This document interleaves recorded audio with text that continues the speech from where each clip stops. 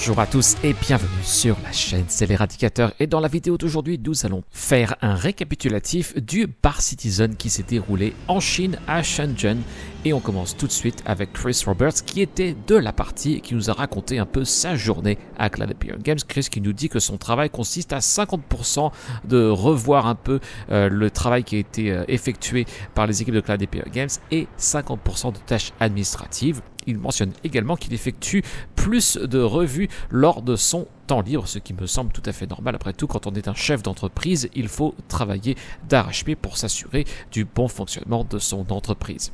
Ensuite, l'escadron 42 devrait recevoir une traduction complète en chinois des voix ainsi que des textes dans le jeu. Star Citizen devrait arriver quelques temps après, mais il n'y a pas de date indiquée. Erin Roberts mentionne également des améliorations de la présence en ligne des communautés non anglophones, ce qui veut dire en gros qu'il y aura des managers de communautés en chinois. En abordant les problèmes de serveurs qui affectent la latence de la communauté chinoise, les serveurs sont à Hong Kong, on a appris ici. Clandepier Games mentionne qu'il souhaite étendre la capacité et la qualité de ses serveurs dans la région en mentionnant spécifiquement la possibilité de travailler avec une entreprise tiers, une entreprise chinoise, ce qui peut poser des problèmes en fonction du degré d'intégration euh, de Clan Games dans euh, l'économie chinoise. Si c'est juste euh, un contrat avec une entreprise tiers, il n'y a pas vraiment d'intégration sur le marché chinois, mais on sait très bien que pour les jeux vidéo en Chine, ça peut être compliqué et il faut très souvent s'associer avec une compagnie chinoise, voire même faire une joint venture avec une compagnie chinoise. Et là, ce qui veut dire que notamment en fonction de la taille de cette joint venture, il pourrait même y avoir un représentant du Parti communiste dans cette joint venture, sans compter que les profits de cette joint venture iront euh, avec une part non négligeable dans les poches du Parti communiste chinois. Donc c'est vrai que pour certains, cela peut poser problème. Dites-moi dans la section des commentaires d'ailleurs si cela vous pose un problème ou pas. Ensuite, l'ingénierie et le système de management de ressources ont été mentionnés et peut-être qu'ils arriveront avec ou juste avant la version 4.0. Qu'est-ce que ça veut dire arriver juste avant la version 4.0 Est-ce qu'il y aura une version 3.25 peut-être Il y a déjà quelques rumeurs qui ont été démenties sur X, mais des fois les rumeurs démenties finalement arrivent à terme. À plus long terme, les équipes ici mentionnent des projets de communication en équipe en donnant l'exemple d'un vaisseau de repérage qui relaie les signaux vers d'autres navires à l'intérieur de leur groupe, ce qui est euh, tout à fait logique parce que certains vaisseaux n'ont pas forcément des radars très puissants comparés à d'autres et c'est vrai que de peut-être collaborer avec les autres vaisseaux du groupe, ça permettrait de repérer les vaisseaux qui seraient susceptibles d'être invisibles pour d'autres vaisseaux. Ensuite, ils ont mentionné euh, un petit peu plus la mise à jour 1.0 de Star Citizen qui sera donc la première version complète de Star Citizen. On peut s'attendre à ce qu'il y ait d'autres versions complètes à l'avenir en fonction des nouvelles fonctionnalités qui seront ajoutées. Donc il y aura un Star Citizen 2.0, 3.0, ce qui est quand même monnaie courante pour un jeu de type euh, service.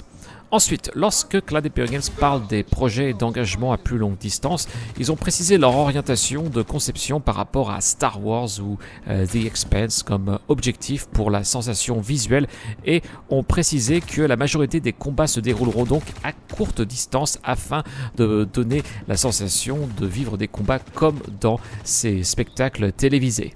Clan Games a ensuite parlé du standard or et ils ont confirmé que l'objectif global est d'avoir chaque vaisseau dans un état standard or, donc pour la version 1.0. Le Constellation en particulier a été mentionné comme un exemple obsolète qui sera mis à jour selon les normes actuelles d'ici la version initiale de 1.0. L'Aurora et le Mustang ont été également mentionnés et ils ont déclaré que leur objectif était de les rendre capables de compléter toutes les boucles du jeu de base. Le Polaris est à une semaine de son examen de phase de boîte grise et il a été confirmé qu'il sera nécessaire de se positionner sur une station distincte afin d'activer la fonctionnalité des torpilles. Donc oui, les pilotes ne pourront pas tirer les torpilles du Polaris. En ce qui concerne le navire marchand Banu, comme on l'a appris lors du Bar Season Taipei, il n'y a pas eu de travaux supplémentaires sur ce vaisseau et le Nautilus n'est pas en production. Chris a ensuite parlé de la pêche dans Start Season. Il sait que les joueurs veulent pêcher, mais ce n'est pas quelque chose qui arrivera à court terme.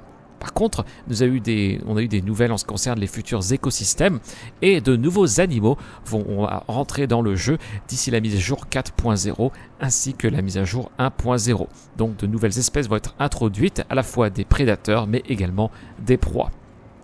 Ensuite, très intéressant ici en ce qui concerne l'obtention d'armes rares. Ici, les développeurs prévoient que davantage d'objets soient difficiles à obtenir grâce à un investissement à long terme et à quelques traversées risquées. Ils ont donné l'exemple ici d'une arme légendaire qui ne serait achetable que dans une seule zone de pyro et qui nécessiterait un certain niveau de réputation pour l'obtenir. Il mentionne en l'outre que cela servirait de motivation aux joueurs pour revendre ces objets à grande valeur dans l'économie, peut-être dans le système Stanton ainsi que dans d'autres systèmes du jeu.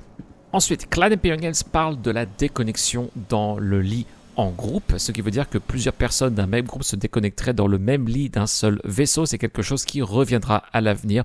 Euh, il a été évoqué peut-être l'année prochaine au plus tôt.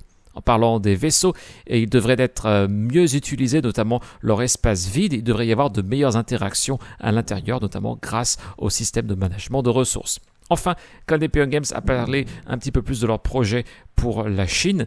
Ils ont investi dans une voie pour la région ainsi qu'un nouveau modérateur qui devrait donc maîtriser le chinois mandarin. Et c'est donc tout ce qu'il y avait à dire en ce qui concerne ce Bart Citizen de Shenzhen. Mettez-moi dans la section des commentaires, êtes-vous confortable à l'idée que Clan Empire Games investisse plus en Chine communiste? J'aimerais savoir votre avis donc euh, à ce sujet. C'est tout pour aujourd'hui. Si cette vidéo vous a plu, faites-le moi savoir avec un petit pouce levé. Abonnez-vous à la chaîne pour plus de vidéos Star Season en français. On se donne rendez-vous à la prochaine. Sophie l'éradicateur. Salut à tous.